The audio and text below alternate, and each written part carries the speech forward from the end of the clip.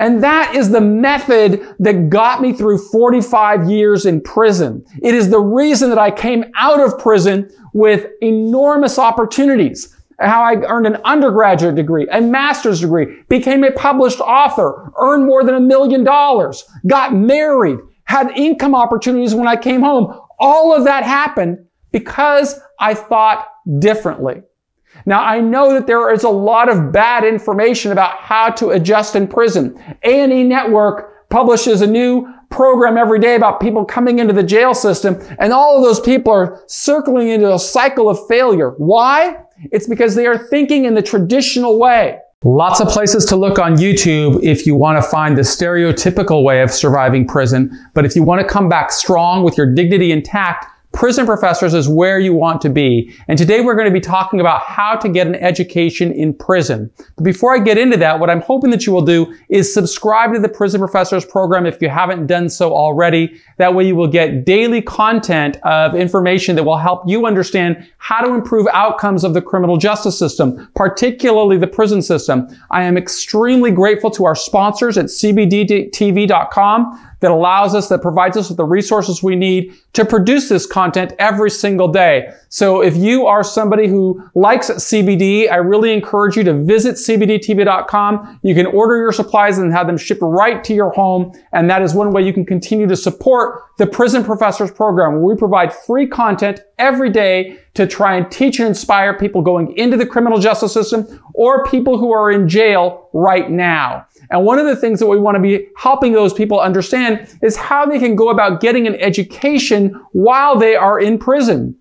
And really, it all starts with developing that CEO mindset, which we speak so much about here at Prison Professors. We want people to be able to document a strategy of how they are going to advance from where they are to where they want to go. We want them to understand how to develop tools and tactics and resources, and we want them to be measuring their progress every single day. Those were the lessons that I learned when I was still locked inside of a jail cell. I was arrested back in 1987. You can get the story from some of our previous episodes that are part of this playlist. But I was really a guy who made a lot of bad decisions when I was a young man in my early 20s. In fact, I was 20, but I didn't get caught until I was 23. And when I got caught, I was facing a sentence of life without the possibility of parole. So, you know, think about what you are facing. Think about what you are, what you are going through. What are you facing today? But more importantly, think about how do you want to emerge from this experience? If you want to become different, if you want to change your life, if you want to recalibrate, you have those opportunities while you're inside of a jail or while you're inside of a prison. But it all starts with how you think. You've got to determine what is the messaging that I am going to be hearing. Your, your ability to educate yourself is not necessarily predicated on what the system offers, but rather it is what do you decide? What do you want to do? Back in 1987, all I wanted to do was to get out of jail because I didn't like where I was. In fact, I hated where I was. But I recognized after a jury convicted me and after I was sitting back in that jail cell contemplating, what am I going to do if I get a life sentence? How am I going to change my mindset? How am I going to get through this journey not knowing what lies ahead because I'd never been confined before? But if you want to get an education in prison, you've got to look to uh, role models or mentors that can help you. And I started finding those mentors inside of a philosophy book. That's what really changed my life. I never knew anything about philosophy before, but when I started uh, going through this book or this anthology called The Treasury of Philosophy, it really helped me to see something different. And that was really the start of what an education is.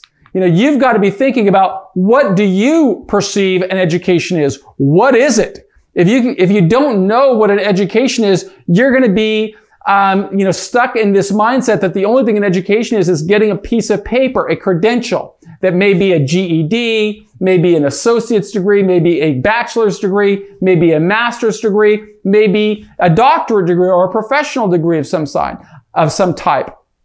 But I've got news for you. You can achieve any of those accomplishments and credentials if you're in prison or if you're in jail, as long as you have the right mindset. And I'm somebody who went through 26 years in prison and know what you can do. But it all starts with really, you've got to take ownership of your life. You can't allow external circumstances or external forces to define what you are. There's too much of this negative messaging going on inside of our jails and prisons where the people who are advising, the, the, the, people who served a lot of time are advising the new people that are coming inside that the best way to serve time is to forget about the world outside and to focus on your life in jail or prison. But that's really bad messaging and it's really bad advice. If you want to come back to society strong with your dignity intact, You've got to be thinking about how am I going to accept full responsibility for every decision I make? I've got to succeed in spite of the obstacles that this system is going to erect. And the system will erect many obstacles. I experienced all of them. It's funny sometimes people will say, I, I really didn't have any struggles or any challenges. But to think I'd gone through 9,500 days without any struggles or challenges is utterly ridiculous. The reality is I learned how to think differently.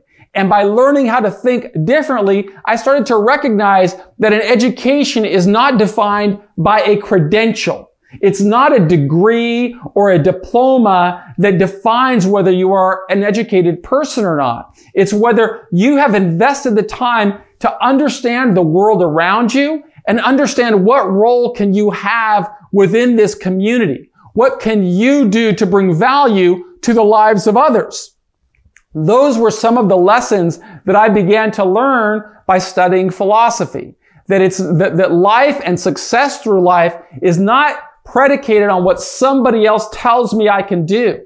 It's predicated on understanding the environment, figuring out what's the problem here, figuring out a strategy, documenting that strategy, creating tools, tactics, and resources, measuring my progress every day. And that's what it is meant when you come up with this concept of not think differently, but think different right? That's one of the things that Steve Jobs spoke about in his famous commercial when he introduced the Mac computer back in 1984. He challenged people, don't let society or big government determine what you are or who you are. We all have to think different. We, right now, particularly as I'm filming this video in June of 2020, it's important that all of us think different because we still have enormously complicated problems with mass incarceration where there are ancillary consequences. And we have to look at the world as it exists.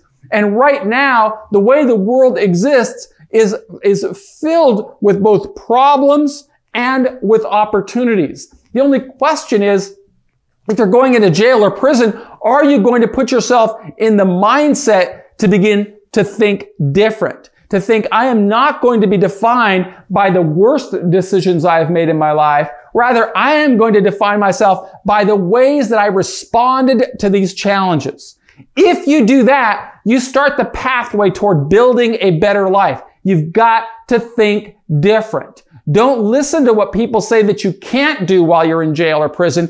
Figure out how do I want to emerge? What are the rules and regulations around me? And what can I do to overcome those challenges? That mindset is really the start of getting an education. It's not a credential. It's not defined by a degree. It's defined by how you look at a problem and what you do with the problem. While I was inside of that jail, before I could ever think about getting en- enrolling in college or in universities, and I'll explain that in a future video. But when I was first starting in there, I just had to think, well, what am I reading? What am I going to learn from other people who have gone through these challenges? What can I learn about what, how I am adjusting for, um, eh, or, or from what they have done and how can what they have done influence how I am adjusting?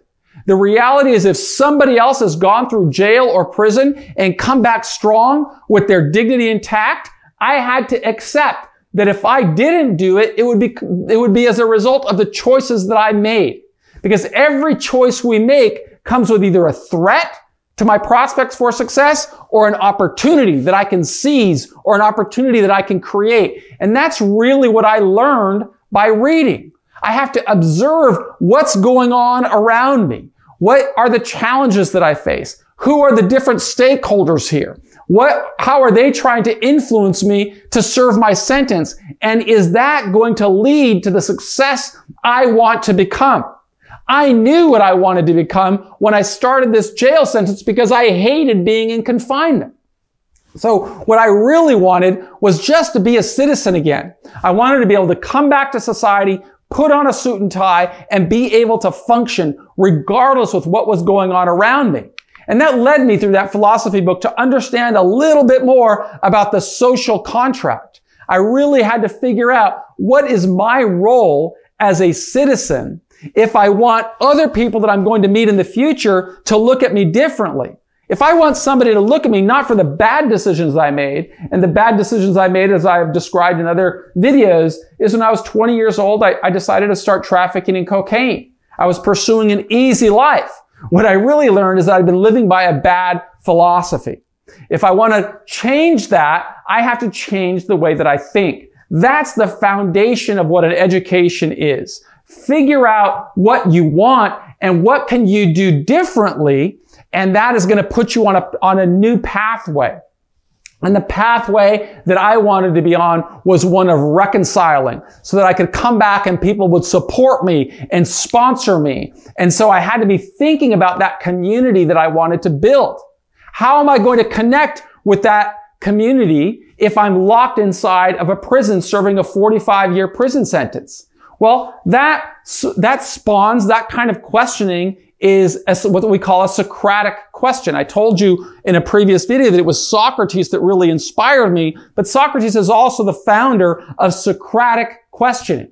So what could I do given the circumstances that I am in to bridge that wall, to transcend that wall and connect with people that might be able to help me? That, in order to do that, I would have to learn how to develop stronger communication skills. If we learn how to communicate better, we can really start working to change the world. And from philosophy, I just learned so much about the power of any individual to redefine his life. The reality is it's never too early and it's never too late to begin planting seeds for a better life. That's the strategies that really helped me grow. And if you want to grow, you've got to be thinking about this as well. Think about how can I develop stronger communication skills. But communication skills are just a tool. I have to build more tools in order to become a better communicator. And the way that I found that out was just by looking in the dictionary and realizing how poor my communication skills were. I didn't have a very good command of the English language. That led me to do some research on really, well, how many words are in the English language? And through that research, I figured out, or I didn't figure out, I learned that there are about a million words in the English language. But the reality is that most American speakers, who we might define as somebody with an 11th grade education, only has a couple of thousand words in their vocabulary. In fact, somebody who makes a living using words, a journalist, a lawyer, a politician, somebody who speaks every day, that person is only going to have about 10,000 words in their vocabulary. So if I could learn new words, I could I realized I could significantly advance my prospects for influencing other people. I simply had to learn how to take words and convert those words into sentences and then convert those sentences into paragraphs. And all of that effort, all of that energy would pay off by allowing me to open new opportunities. And I would also look before I was able to get into college or get into universities, I would go to the dictionary because a lot of times, I mean to the encyclopedia and the library, because a lot of times when we're in prison or jail, you can get despondent, feeling as if there isn't anything to do. But if you go to the encyclopedia, and what I used to do is look up like the word wisdom, or look up the word resilience, or look up the word, um, you, you, know, um, overcoming or adversity, and I'd and I'd find these stories that would lead me to a thread of people I could learn from, and, and I could say, well, what can I learn from them to come up with my own plan? What is my own plan? What do I want? I don't want to be defined as somebody who sold cocaine when he was 20, and I certainly don't want to be defined as somebody who got slammed with a 45 year prison sentence. I want to be defined as somebody who overcame all of that. And so I had to be developing this CEO mindset where I start by really defining success. What is success? And for me, success said, I want to be able to come back to society, live a contributing life with my dignity intact, be able to function and build a life and build a family and build a business. In order to do that, I had to have my own strategy and I had to document that strategy. And my strategy was I would focus on getting a more formal education that doesn't mean that the education I had already be, been, been, been uh, building while I was in jail just by reading and developing my vocabulary and strengthening my critical thinking skills. I knew that I wanted to have um, more academic credentials, formal credentials, because those would become tools. Tools that I believed I could use to accelerate my, defin- my, my progress toward def- the success as I defined it. And I defined it as being able to come back to society with my dignity intact, be able to move in any audience, in any room, and nobody is going to discount me simply because I was in jail or prison. In fact, I could, might be able to use this if I did it well, use this as a, as, as a manner of showing people that they should believe in me. Because I'm really just somebody like them, somebody who solves problems by creating a strategy, creating a pathway to success, and measuring progress every single day. And that is the method that got me through 45 years in prison. It is the reason that I came out of prison with enormous opportunities. How I earned an undergraduate degree, a master's degree, became a published author, earned more than a million dollars, got married, had income opportunities when I came home. All of that happened because I thought differently. Now, I know that there is a lot of bad information about how to adjust in prison. A&E Network publishes a new program every day about people coming into the jail system, and all of those people are circling into a cycle of failure. Why? It's because they are thinking in the traditional way. But if you learn, if anyone learns how to be the CEO of his or, her own life, they can document a strategy. They can create tools, tactics, and resources. They can measure their progress and they will emerge differently. Jail or prison is an opportunity to recalibrate your life. It takes strength. It's not easy. But that is the message that we provide at Prison Professors, which is why our channel is fundamentally different from other channels. We simply want you to learn how to be the change that you want to see in the world.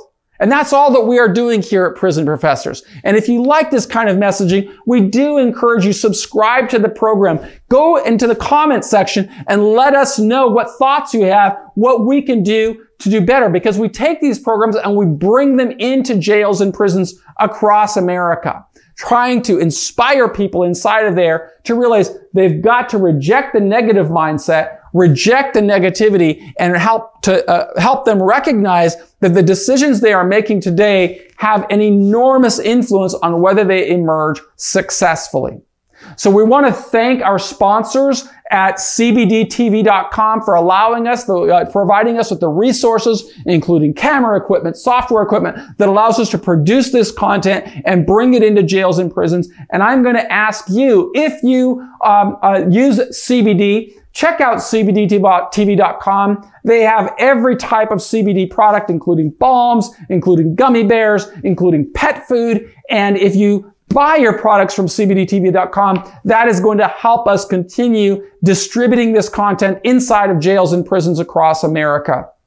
So if you want more information on the top of our YouTube banner, you'll see a free guide. You can learn a little bit more about what it means to be successful in prison. What does it mean to get an education in jail or prison? We've got books, resources, courses, and we'd love to help you because it is our mission to disrupt this uh, failure factory and, and change the model so that people who are going into jails and prisons come back strong as law-abiding, tax-paying citizens and they can live a fulfilling life. I am committed to doing that. My name is Michael Santos. And again, I want to ask you to subscribe to the program and uh, share it with as many people as possible. Thank you.